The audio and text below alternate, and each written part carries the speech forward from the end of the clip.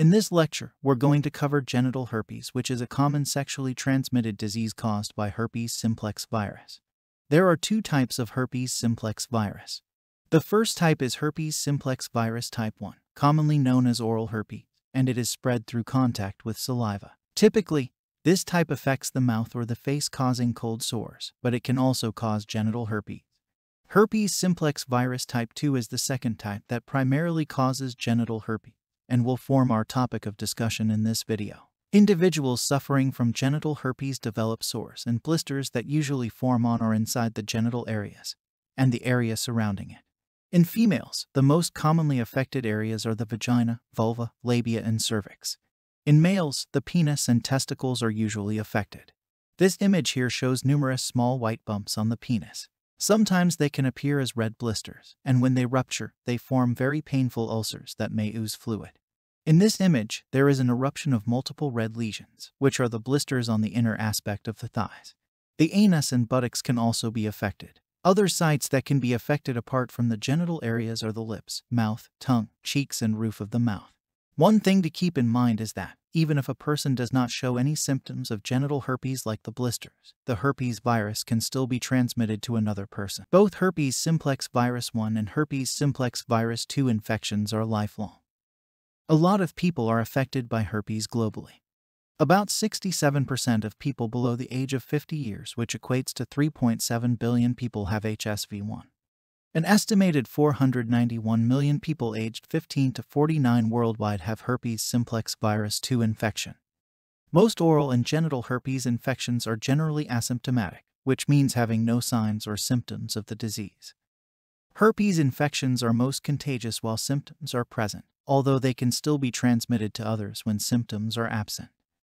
Infection with herpes simplex virus type 2 increases the risk of contracting and spreading HIV infection. Genital herpes can spread if you have multiple sexual partners and don't take protective measures into account, such as using condoms when engaging in sexual activity with an infected person. You can also get herpes from kissing someone who has open sores in the mouth. It can also be transmitted through direct contact with lesion fluid via skin to skin contact. And finally, via perinatal route, where a child gets herpes during birth from an infected mother. You can have the herpes virus for years without experiencing symptoms, making it difficult to determine when or from whom you contracted it, and you may unintentionally infect others. The average incubation period for an initial herpes infection is four days. The incubation period is the time between when a person contracts the virus and beginning to have symptoms of the disease. When present, symptoms of genital herpes include Flu-like symptoms like headaches, fever, chills, tiredness, and muscle pains. Itching or irritation in the genitalia. Small red bumps or tiny white blisters or sores on the genital area that are painful when they break open. Ulcers that form when blisters rupture. Swollen lymph nodes, and dysuria, which is a painful urination.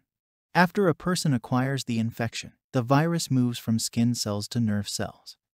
In the nerve cells, it enters an initial period of replication, after which it becomes inactive, what is also known as the latent phase or latency.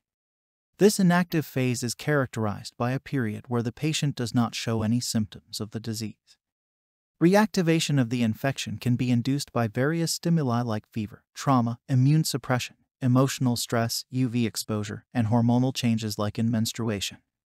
The reactivated virus spreads distally from the ganglion to initiate new cutaneous, and mucosal lesions. The diagnosis of genital herpes is based on proper history, physical examination, and the results of laboratory tests.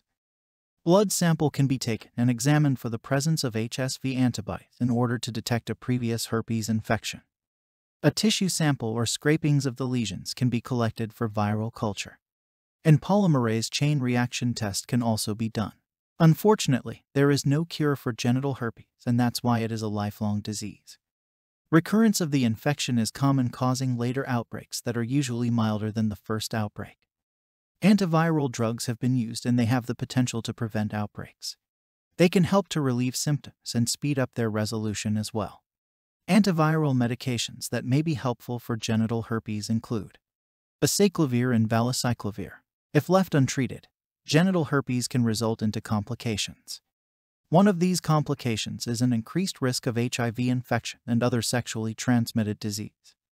It can also cause severe emotional stress for the patient and family as well. That will be all for this video. Thank you for watching.